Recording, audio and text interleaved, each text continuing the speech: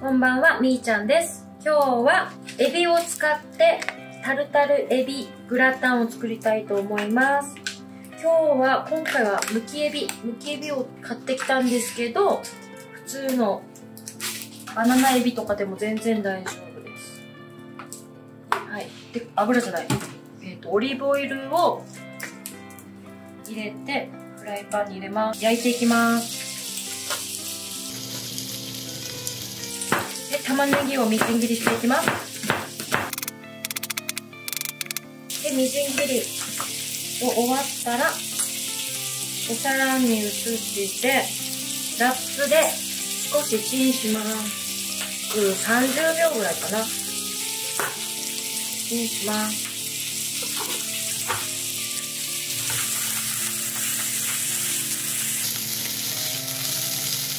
で、じゃーん。ブロッコリー。ちょっと熱いけど、ちょっと事前に茹でておきました、ブロッコリー。熱い、熱い。お皿に入れていきます。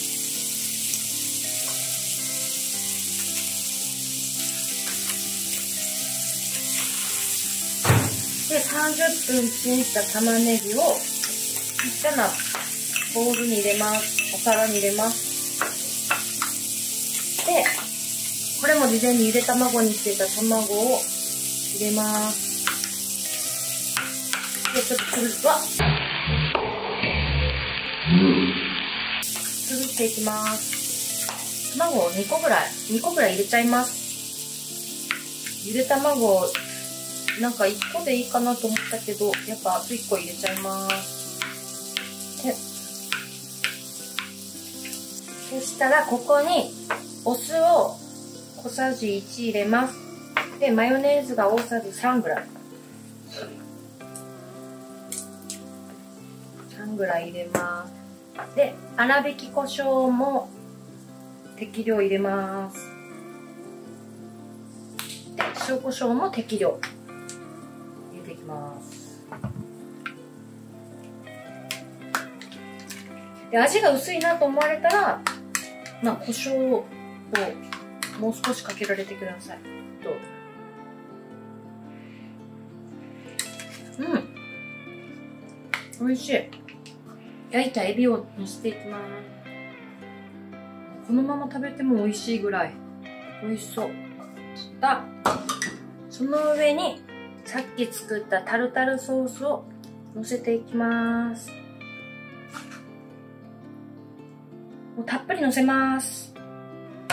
で、ここに、ちょっと、ミックスチーズ、ミックスチーズを、ちょっと振りかけます。こんな感じで。これで、オーブントースターで10分、約10分ぐらい、焼いていきます。10分。今日も飲んでます。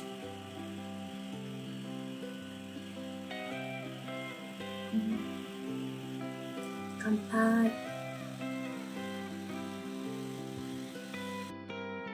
お、なんか焼き色がいい色。で、ここに、最後に、パセリ。パセリを散らします。で、胡椒もちょっと少し、少々。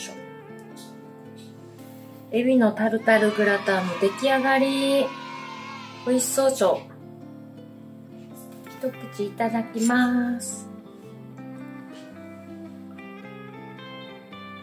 お、美味しそう。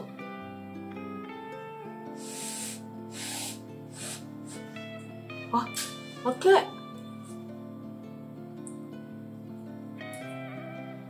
うん。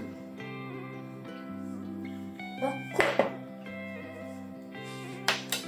美味しい。今日も見てくれてありがとう。また明日も見てね。バイバーイ。